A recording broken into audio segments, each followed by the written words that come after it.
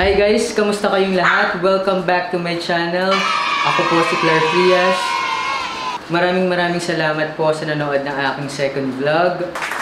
Um, huwag kayong mag-alala, maraming marami pa tayong pag-uusapan, so stay tuned for that. Bago tayo magsimula, gusto ko lang po kayong batiin ng maligayang bagong taon. Sana maganda ang pasok ng 2020 sa inyong lahat. Um, 2019 has been really good to me. Napaka-fruitful ng aking 2019. Lahat ng blessings na dumating sa akin, whether it's big or small, lahat yon ay galing kay Lord. So, very grateful ako sa aking 2019.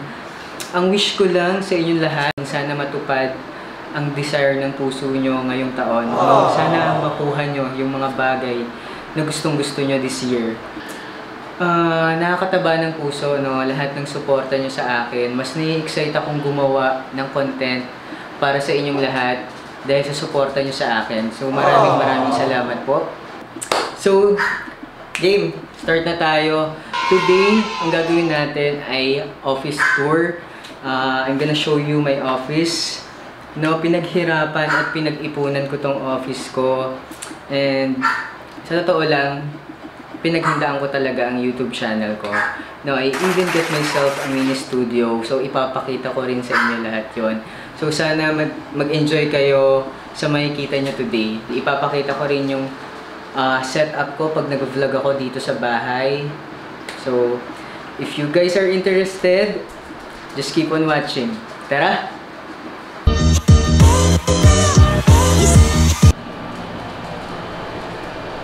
Uy, nandiyan na pala kayo. Tara!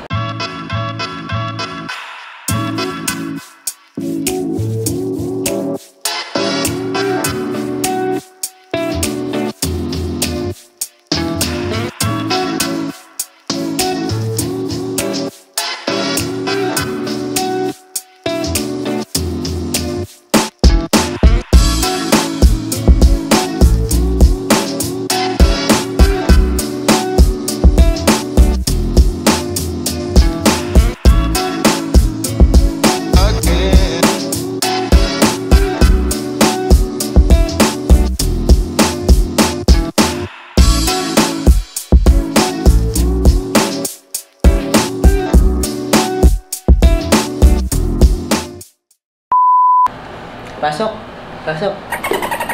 So guys, ito ang aking mini studio. Um, ito yung softbox ko. Ayan yung softbox ko. Dalawa yan. Dalawa yung softbox. So, ang unang papakita itong kabuuan ng aking manual roller. No? Ah, makikita nyo to sa mga studio na pinagsushootan nyo. No? Kung nakita, kung nakakita na kayo ng ganito. So, paliwanag ko kung paano siya nag-work. Tara. So, manual roller. Ah, meron siya ditong roller na pwede mong itaas at ibaba pag kailangan mong gamitin. So, pag gusto ko mag-shoot, bababa ko lang siya. Yan. Gray to. Gray yung napili ko para medyo manly. Charot. And, ayan. So, itataas ko lang siya pag hindi ko na gagamitin. Um, maganda tong manual roller kasi nakakaano siya ng space. Ah, kasi maliit lang tong office ko, so talagang dapat i-maximize yung space. So, ang manual roller, ah, nakakabit siya sa wall. So, wala siya, hindi siya makaka-take up ng space dito sa baba. Kasi merong mga background na may stand lang sa both sides. So, hindi ko yun kinuha kasi ang liit office. Hindi mag-work yun sa office natin. So, ayun, yun yung manual roller. So, yun. Ah, itatag ko sa description kung saan ko siya binili. So, next, ang ano natin, ang discuss natin tong softbox. So, ang softbox, ang brand ng softbox na binili ko ay Trio po. And ang strobe lights, Ubaw. Sobrang ganda ng quality ng dalawang yan. Um, yung strobe lights, ang ginagawa niyan, ah, para mas madali niyong maintindihan. Alam niyo yung pumuputok kapag nag-shoot kayo sa studio. Siya yun, siya ang gumagawa nun para maka-produce ng quality picture, no? So, ayan, softbox. Again, ito necessary, no? Pero binili ko, ito lang yung binili ko kasi mas ah, worth it na bilhin, no? mag-invest ka na sa maganda kung may budget ka naman. Kasi tumingin ako ng ring light, ah, hindi siya masyadong worth it bilhin. Kasi ring light lang siya, tapos ang mahal, may 5K, 7K, 8K. Konti na lang, magkakaroon ka na ng softbox nun and strobe light. No? So, kung may budget ka at gusto mo talaga ng maganda yung ilaw, quality yung ilaw ng vlog mo, consider mo bumili ng softbox. No? And kung meron kang business at gusto mo ng quality na picture, bili ka na rin ng strobe light para ang ganda, ang ganda ng quality ng picture na mapuproduce mo kapag may strobe light ka. So, ayun, um, nagtataka siguro kayo, paano mo nalaman lahat yan, Clark? Kasi before, ang first job ko ay photographer ako sa studio, isa sa mga studio sa QC. No, so, yun yung first job ko. So, medyo nagka-idea ako kung paano mag-set up. Dami kong camera sa for vlogging ay ang aking Fujifilm X-T20. Ah, last year ko siya binili. Um, ah, gift ko to sa sarili ko nung birthday ko last year. So, yun. Sobrang happy ako dito. Sobrang na-inlove ako dito. Kasi itong camera na to ay pwede ng pang pro na shoot. And ito lang yung camera na pang, pwedeng pang pro pero meron pa rin siyang ah, automatic na setting. So, hindi lang puro manual. So, kung hindi ka hindi ka kung newbie ka pa lang at hindi ka pa pro, pwedeng pwede ka mag-automatic na settings dito. So, yun, bakit gustong gusto ko to? Kasi sobrang ganda ng kulay sa Fuji. Napaka-sharp ng kulay pag Fuji yung gamit. And, ano ba, 24 megapixel na siya, 325 ang autofocus. Ah, ha. So, yun. Sobrang ganda. Para sa akin, isa siya sa pinakamagandang camera ngayon. No? Fan talaga ako ng Fuji. so, yun. Um, ah, ano ko na lang sa description kung magka... Ang pinaka-okay na binili ko dito sa office. Etong, pina, etong malaking salamin na to, Ah, gusto gusto ko talaga ng malaking salamin. So, hindi pwedeng mawala ito sa aking studio. So, yan. ah, dito ako nagpa-practice pag may spill ako sa vlog. Dito ako kinakausap yung sarili ko. Yan. Tapos, ah, aircon kasi para malamig kapag nag-shoot. Um, at ang kaisa-isang halaman na nabuhay sa aking bahay. Siya lang, siya na lang natira. So kung ano, kung meron kayong uh, ma-advise sa akin kung paano mag-alaga ng halaman ay kailangan po namin yon. So yun, uh, gusto ko ipakilala sa inyo si Clarky, ang aking anak. Ang mahal na mahal ko. At nandito rin pala ang aking Clay Clay. si Clay, anak niya to. Yung dalawang girls ko nasa baba kasi maingay sila. Natahol eh. Say hi to the camera. Hi po! Sila natin itong lamp na to. Pag may ginagawa ko dito, ito ang aking ilaw. So yan, sobrang ganda nito. Aesthetic. For the sake of aesthetics, ayan, bumili ako nito. Binili ko to sa All Home. Yun, favorite ko sa All Home, sa Landmark, sa Robinson's Department Store. Kala nyo ang baduy sa Robinson's, pero may ang daming magaganda doon na pang display, Robinson's Department Store. I-try nyo, i-try nyo mag-explore sa department store. Sobrang dami nyo makikita. So, ayun, ito ang lamp. Sobrang ganda ng lamp na to. Favorite ko siya. Tapos dito, may makikita kayong aking um, ah, board. Yan, yung mga ginagawa ko, LBC giveaways, di ko pa napapadala. Papadala ko na, promise. Deposit ipon. Ayan, magkailangan mag-deposit ng mga kaperahan. And ayan oh, vlog number 3, upload January 5, 2020. So, Sunday, tomorrow, upload na namin yan. So, ayan, eto, nabili ko to. Sobrang cute, sobrang cute. Nabili ko to sa department, Robinson's Department Store. Ito yung pen niya, oh. Tapos, naka magnet na siya dito. So, hindi siya mawawala. And, eto, susulat ako. Game. Yan, drawing tayo. Alam yan. Ako talaga yan si Superman. Ako yan eh. And, yan. So, yan. Sulat ka. Tapos, sobrang galing kasi ito yung eraser, oh. Drawing mo lang. Diba? Sobrang saya. Alam, parang bata lang. Pero wala lang, sobrang amazing lang talaga nito. Buti na-discover ko to. Again, Robinson's Department Store. Sobrang galing niya dyan. Papakita ko sa inyo ang aking Google AdSense. Actually, na-monetize na ako earlier last year. You know, May 27, 2019. Yay! Actually, kaya parang ang sinasabi ko sa sarili ko, parang dito talaga ako dinadala, no, ng universe. Kasi wala sa loob ko na mag-vlog, pero na-monetize yung account ko nang wala akong ginagawa. Ang naka-upload lang doon ay yung short film ko. So, thank you Lord sa aking mga blessings na dumating. And ito pa, ang pinaka-okay din na binili ko, Robinson's Department Store din to. Sobrang cute. Hindi siya minimalist, pero wala lang. Binili ko pa rin siya. Ganda niya kasi, yan, kaya lang matrabaho siya kasi lalagay mo yung Friday, Thursday, Monday. Yan. so, yun. Tapos, meron lang akong mini, um, maliit lang na notebook dito para sa mga ATS. Yan yung mga nanalo sa giveaways, pinagpilian ko yan. Tapos, yan yung mga content na naiisip ko. Sulat ko lang dyan. Ayoko ng marami. Napapansin nyo, kung napapansin nyo, ayoko ng maraming nakalagay sa table ko.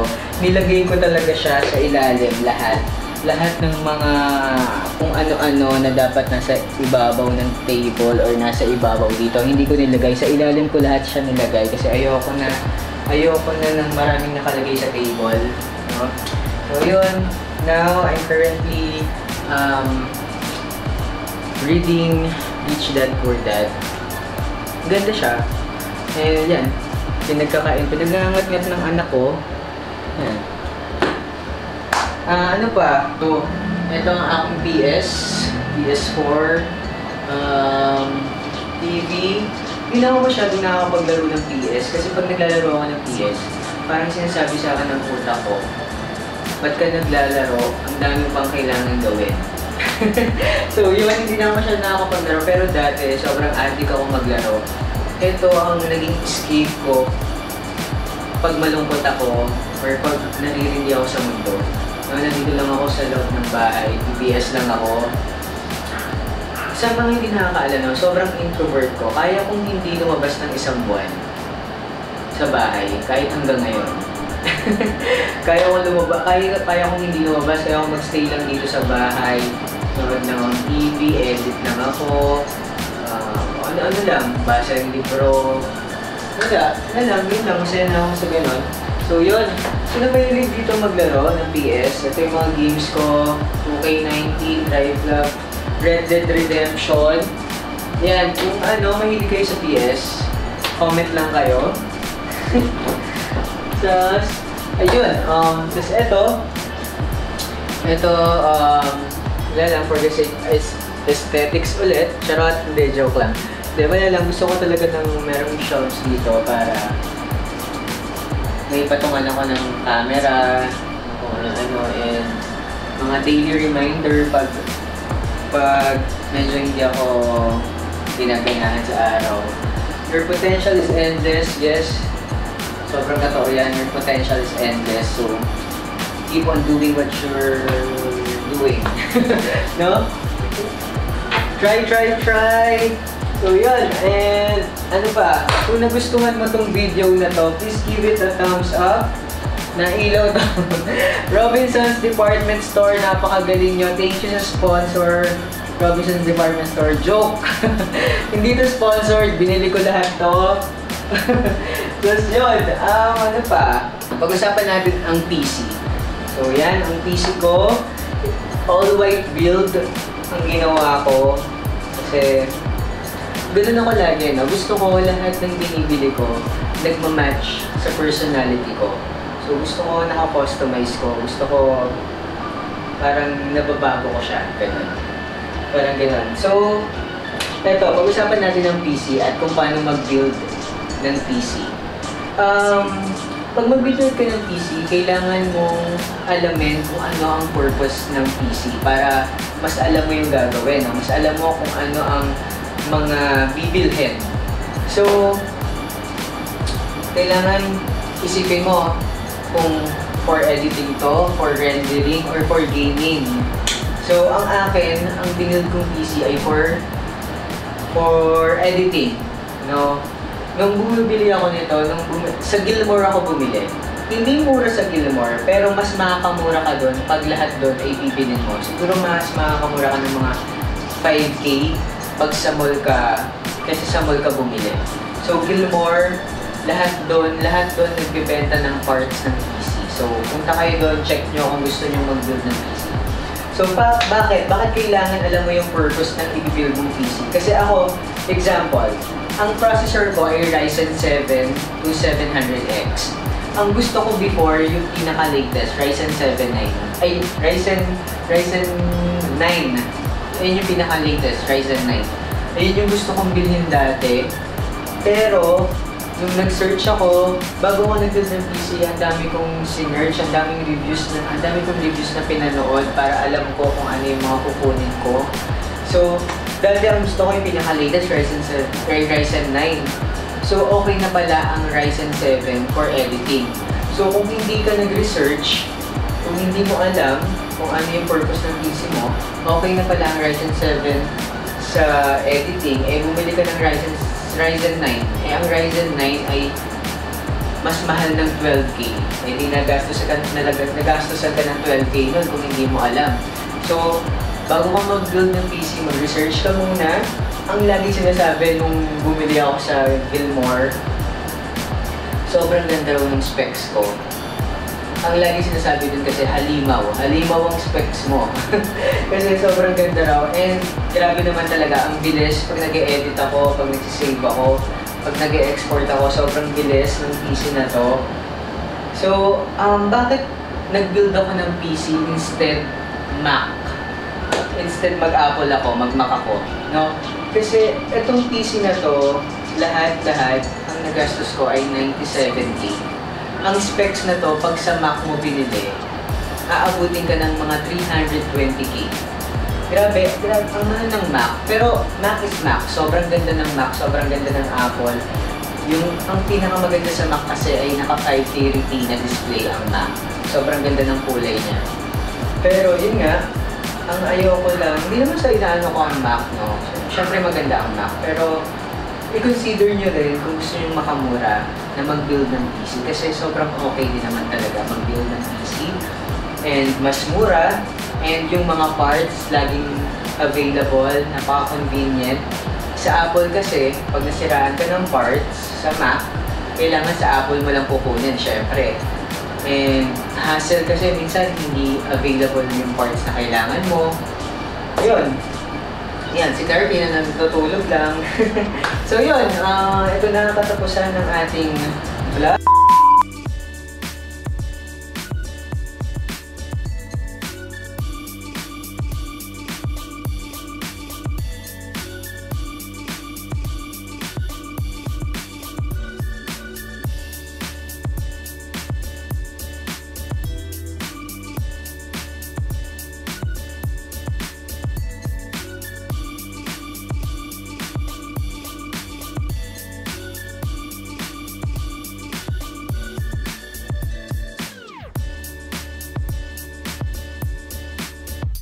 Guys, that is it for my third vlog. Sana nagustuhan nyo yun. Sana may nakuha kayong tips.